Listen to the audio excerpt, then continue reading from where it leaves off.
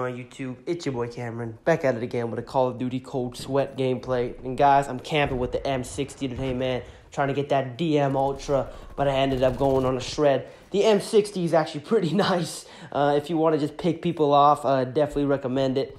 And sorry again for another late night upload, after hours upload. But I'm going back home to California tomorrow. I'm leaving my parents' house, so my upload should be around normal time, hopefully. Um, but I'm not gonna bore you guys with all that real life talk, man. But we're gonna be getting to the meat and potatoes of this video, talking about some Call of Duty drama. Not really drama, but Call of Duty conundrums right now. Alright, so you guys know Warzone, how big it is, and how all the streamers play it. My opinion is that a lot of those Fortnite streamers kind of ruined Call of Duty, but that's besides the point. That's a video for another time. If you guys want me to make a video on that, let me know in the comment section below. But Guys, Warzone is unplayable. I tried to play Warzone today with my boys, and it was so boring, man. I cannot play Warzone anymore. Warzone, to me, really got boring after maybe season four. Thing is about Warzone, man, it's just way too slow. You don't see anybody. Like, I would run around the whole time, and I was getting melted by some hacker. I'm not a big fan of Warzone anymore, to be honest.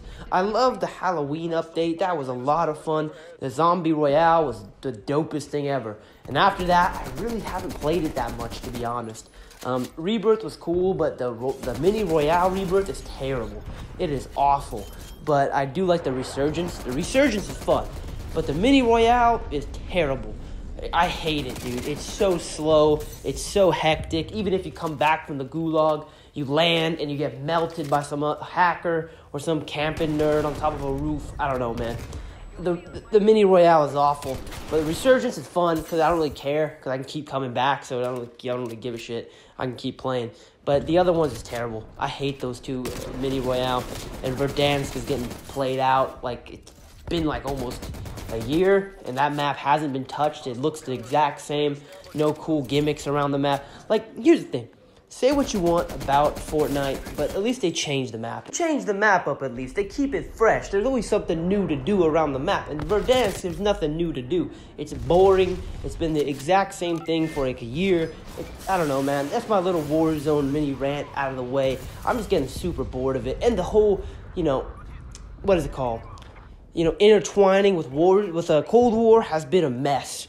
The guns are unbalanced, they don't work. The bullet drop is still terrible. That Pelington sniper rifle is the worst gun in the game. It is horrific.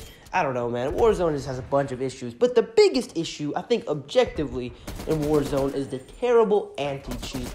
The anti cheat in Warzone is horrible. The anti cheat in Call of Duty in general is abhorrent.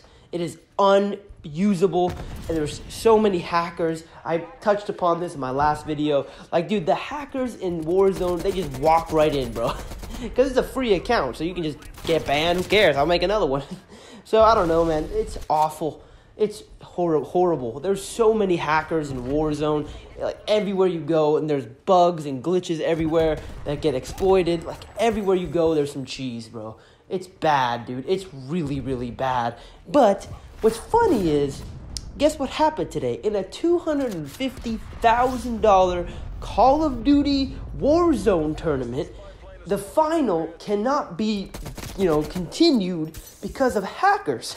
you know, 250k on the line, and I guess people were, you know, calling this one dude out in particular. I think for hacking, and they couldn't continue on with the tournament because of the hackers. And this kind of just put, you know, a big spotlight on the horrible anti-cheat for Activision and how it's basically useless, and how the act, anti-cheat is makes the game unplayable because you know you can't do anything against these hackers. They never get banned. They you know, they populate those diamond and gold lobbies. and those diamond and gold lobbies, I'm willing to bet that there's three or four hackers in each of those lobbies. At least three or four hackers in each of those lobbies. And add the Cronus nerds in there, oh my goodness. That gets even higher and higher. And here's the thing. It's you know, most probably, most likely, your favorite streamer is cheating as well. That guy, Symfuhny, I don't care what you guys say, that guy is a freaking hacker, dude. Th- that guy's a cheater. No way his aim just goes all over the place like it's in Cold War. Like if it was in Cold War, I'm like, ah, maybe he's probably not hacking, bro. That's just the game. the game doesn't work. Your aiming in this game is terrible. But Warzone has pretty good aiming mechanics as well as um Modern Warfare. They have pretty good aiming mechanics, and his aim is going all over the place like a freaking windshield wiper. So I know Hundo P that guy's cheating. Nothing you tell me otherwise. Oh, he's like baiting you, bro. Like you're just an idiot. If you think he's just baiting you, you are like you have brain damage. Like honestly, you probably have brain damage somehow. I don't know. Maybe you got hit by a bus. Maybe you know you got Alzheimer's. I don't know what's going. I don't know what's wrong with you, but your brain doesn't work. if you don't, if you think that guy's not cheating, you have some serious brain issues, bro. You got all, you got brain cancer from drinking way too much G Fuel and I don't know what the hell is wrong with you, bro. It's ridiculous. That guy's a hacker, and it's pretty obvious. There's a lot of hackers in Warzone. So that begs the question Activision, are you going to do anything to you know circumvent these hackers or are they going to keep running amok because they they've been running amok for a year now Warzone has been a hack fest for a year now. It is damn near unplayable. And don't come saying to me, Warzone fanboys, that it's a free to play game, bro. It's a free to play game. Fortnite's a free to play game, and I've never come across hackers in that shit. I barely come across hackers in Fortnite. Um, Apex is a free to play game. I barely come across hackers in Apex. It's only Call of Duty. You know why? Because this anti cheat doesn't work. It's terrible and they don't want to invest money in it because they're cheap and they just I don't know. They have this weird weird freaking idea that this is an okay thing to be occurring. I don't know, guys. What do you think about it?